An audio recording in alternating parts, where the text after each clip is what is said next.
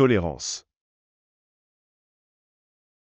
La tolérance est la capacité à accepter les différences et les opinions divergentes des autres sans jugement ni discrimination. En d'autres termes, la tolérance implique de reconnaître que chacun a le droit de penser et d'agir selon ses propres idées et convictions, même si nous ne partageons pas ces dernières.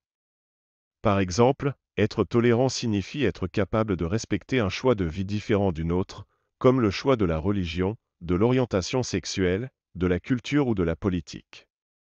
Cela implique également de ne pas juger ou diaboliser les personnes pour leurs vues divergentes, mais plutôt de chercher à les comprendre et à les accepter. Une autre manière de comprendre la tolérance serait d'utiliser l'expression vivre et laisser vivre. Cela signifie que nous devons être capables de coexister pacifiquement avec les autres, même si nous ne sommes pas toujours d'accord avec eux. En somme, la tolérance est une vertu essentielle pour vivre en harmonie avec les autres dans une société diverse et pluraliste.